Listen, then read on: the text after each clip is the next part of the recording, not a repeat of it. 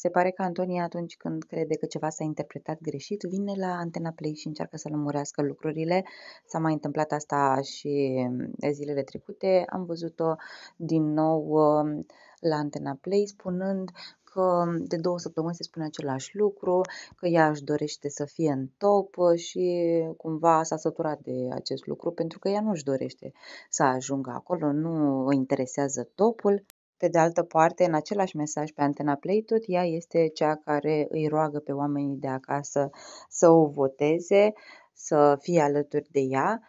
și a mai explicat că de fapt problema ei a fost că în prima săptămână a fost plăcută de public și după nu s-a mai întâmplat asta, iar ea încearcă să demonstreze că e o fată bună și care merită susținută și votată.